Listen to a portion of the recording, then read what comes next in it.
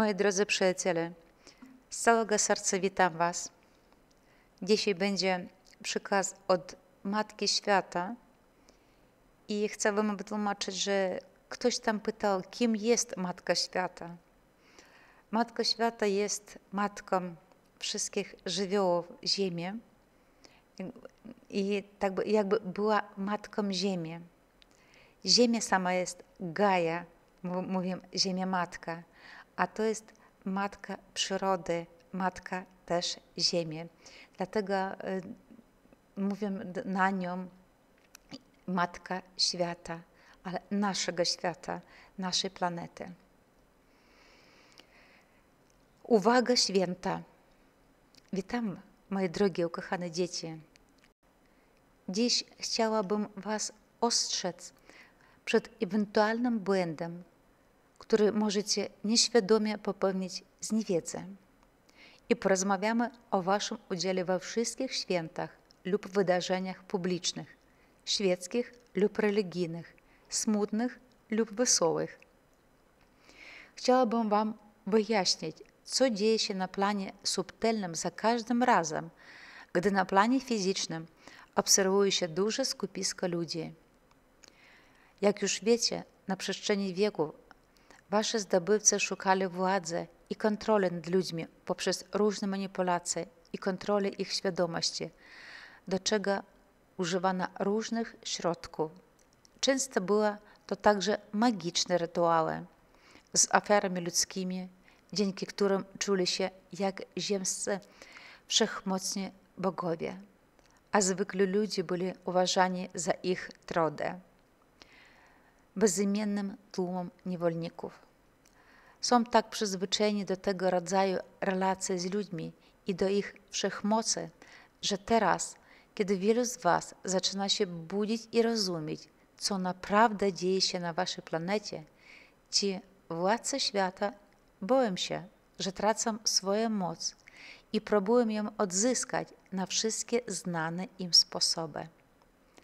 Tłumaczy to zaostrzenie środków związanych z pseudopandemią, ograniczających prawa i wolności ludzi w niemal wszystkich krajach świata.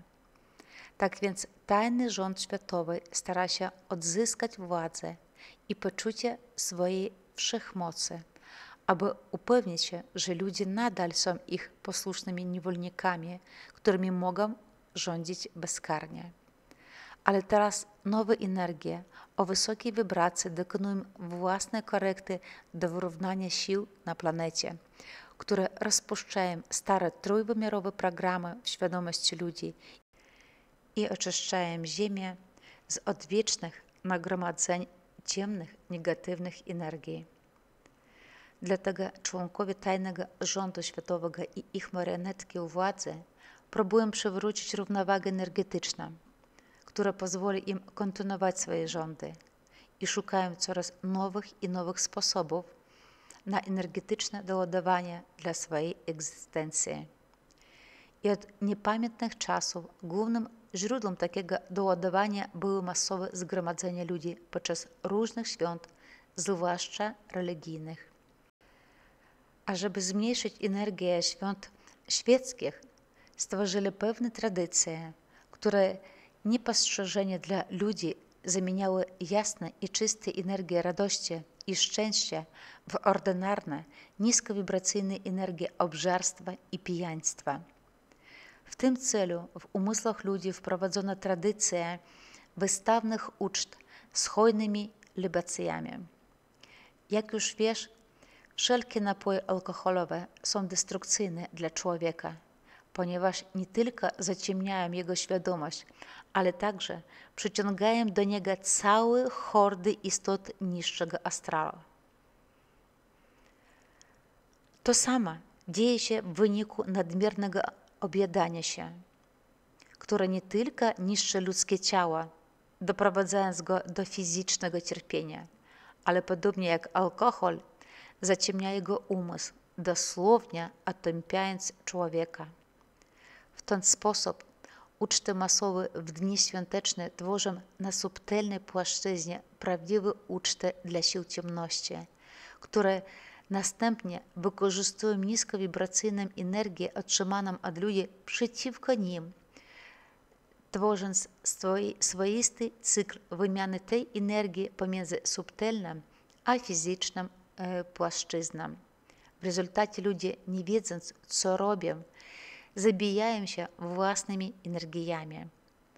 Ale szczególnie cenne dla ciemnych sił, zarówno bezcielesnych, jak i wcielonych na ziemię, są wszystkie energie związane ze śmiercią, a zwłaszcza śmiercią miliony ludzi w różnych wojnach. Aby utrzymać i wzmocnić takie energie, stworzono tradycje parad i dni pamięci o tych, którzy zginęli w licznych wojnach, które i były organizowane przez tych, którzy w ten sposób nadal zbierają śmietankę swoich strasznych czynów wielu lat po zakończeniu tych wojen. Sztucznie pogrążając człowieka w myślach o tych strasznych, krwawych wydarzeniach. Dlatego pragnę, moi kochani, abyście odzyskali pojęcie święta w pierwotnym boskim rozumieniu, które polegało na komunikowaniu się z naturą i dawaniu sobie nawzajem energii radości, szczęścia i miłości. I nawet bliscy, którzy odeszli, potrzebują tej energii, a nie płaczu, smutku i cierpienia. Pamiętajcie o tym, moi drodzy, i nie pozwólcie, aby wasza własna energia, wasz bezcenny boski dar została wykorzystana przez tych, którzy próbują was zniszczyć fizycznie i psychicznie, tłumiąc waszą wolną wolę i okoliczając waszą duszę.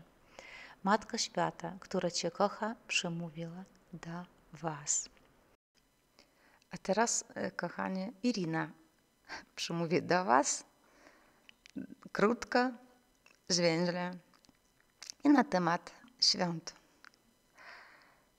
Wiecie co, ja zmieniam się razem z Wami i moja świadomość zmienia się też tak jak u każdego, mam nadzieję, człowieka. I kiedy w tym roku ja poszłam na jarmark bożonarodzeniowy we Wrocławiu, ja poczułam tak, jakby czy ja, czy ten jarmark był nie, nie z tego świata.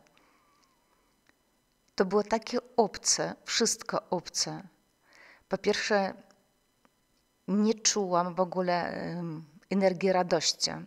To, co było w latach poprzednich u ludzi, to jest pierwsze, co było bardzo i namacalnie, jeżeli można powiedzieć, odczuwalnie.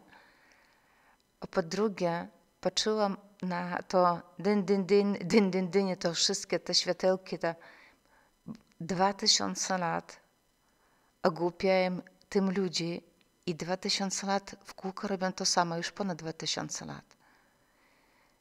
Czy tego nie zauważyli jeszcze?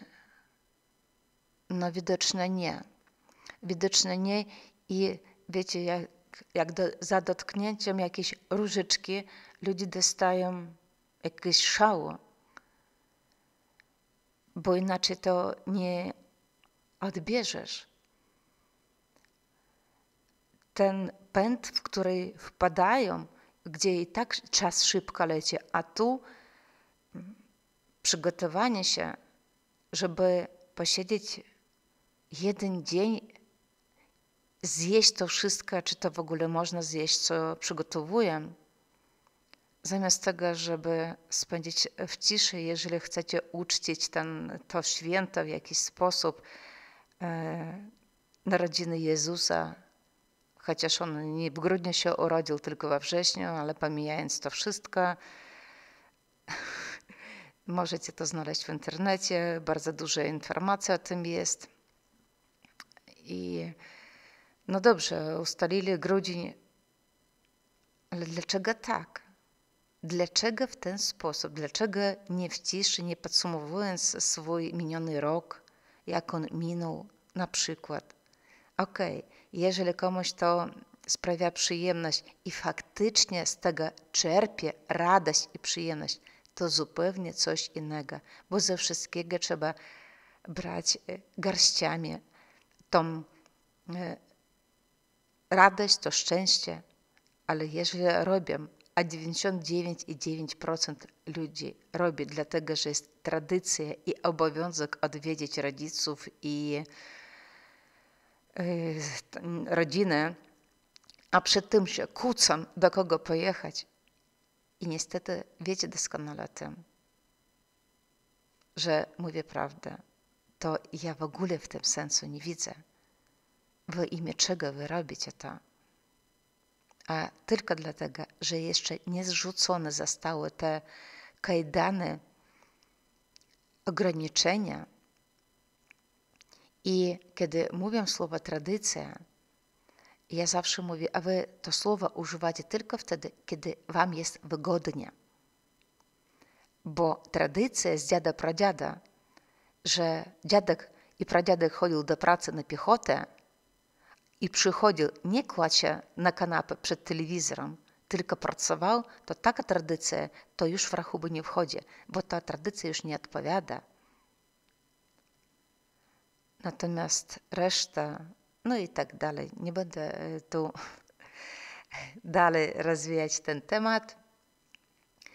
Więc y, moja również prośba, świadomi ludzie, którzy będą świętować te dni, to świętujcie, odpoczywajcie tak, żeby było zgodnie z waszym podejściem, żeby wy byli w tym radośni i szczęśliwi. I ja nie życzę Wam, wszystkim, kto będzie mnie słuchać, zdrowia i szczęścia w jeden dzień, w ten jeden. Ja Wam zdrowia i szczęścia życzę na co dzień, na okrągło, a nie w Wigilię. Także wszystkim Wam dużo zdrowia, dużo szczęścia i wszystkim nam spokoju na planecie Ziemia. Z Wami była Irina.